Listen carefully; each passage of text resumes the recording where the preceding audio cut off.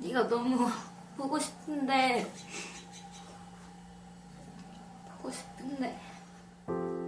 헤어지자고 말하려 오늘 너에게 가다가 우리 추억 생각해봤어 처음 본 네 얼굴 음, 마주친 눈동자 우와 가까스로 본 너의 그 미소들.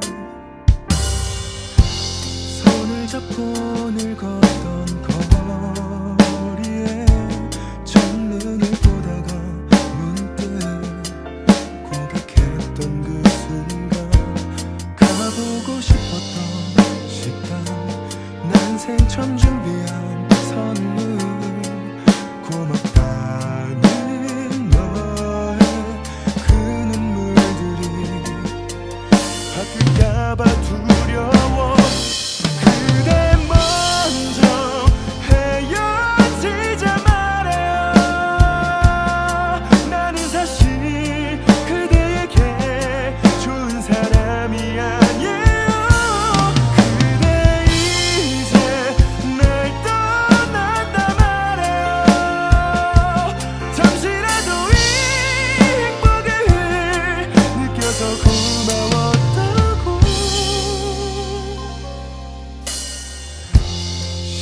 시간이 지나고 나면 나는 어쩔 수 없을걸.